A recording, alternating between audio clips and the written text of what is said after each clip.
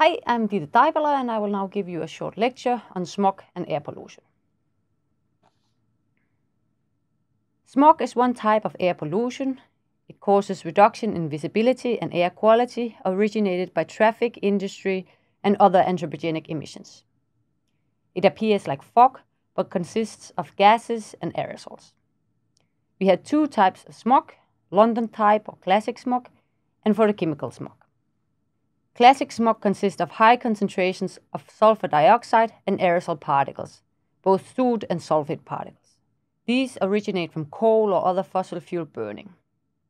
The buildup in the concentrations of SO2 and aerosol particles is usually amplified by a temperature inversion, which is usually caused by a combination of no wind and low temperatures at ground level. The conditions for this type of smog is therefore also best during winter why this type of smog is often referred to as winter smog. The high concentrations of aerosol particles and SO2 in the smog can cause damages to our health.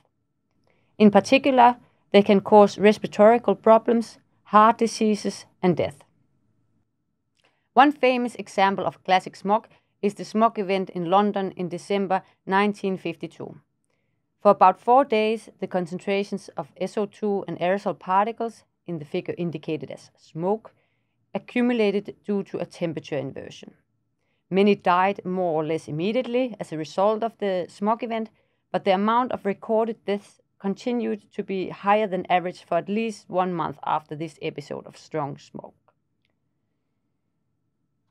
In order to produce the other type of smog that we have, photochemical smog, we need to have nitrogen monoxide, hydrocarbons, and sun and because of the last ingredient, this type of smog is sometimes referred to as summer smog.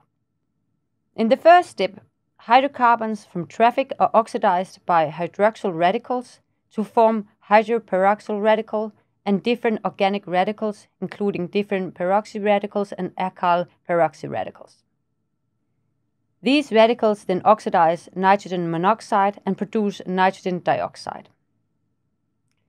Part of the produced nitrogen dioxide photodissociates and forms ozone, while some is oxidized by alkyl peroxy radicals and thereby forms PAN.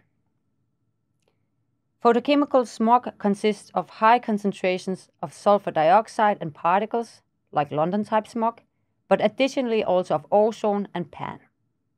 High concentrations of ozone can cause respiratory problems, for example, aggravation of asthma, reduced lung functioning, respiratory infections, and inflammations.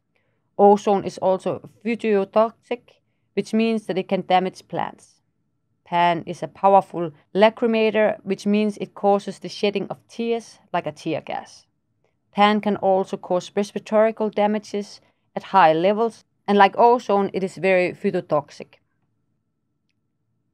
The chemistry of photochemical smog is rather complicated and much more complicated than London type smog, which is also one of the reasons why it is difficult to prevent. The figure on the slide depicts the dependency of the concentration of ozone on the emissions of hydrocarbons and NOx. On the x-axis we have the emissions of NOx and on the y-axis the emissions of hydrocarbons. The contour lines provide the concentration of ozone in the unit of parts per billion.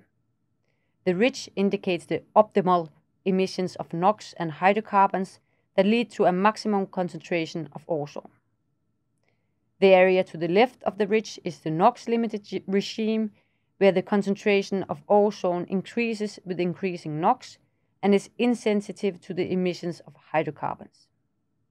The area to the right of the ridge is the hydrocarbon limited regime, where the concentration of ozone increases with increasing hydrocarbon emissions and decreases with increasing NOx emissions. Any area surrounded by hills increases the probability of temperature inversions, which prevents dilution of the polluted air and enhances the occurrence of smog. The solution to combat London type smog is to burn less dirty fuel and coal. In order to combat photochemical smog, we also need to pollute less, but this type of smog is much harder to regulate because of the nonlinear feedbacks in the NOx hydrocarbon ozone system, and it is therefore still a problem in many Western cities, for example, Los Angeles.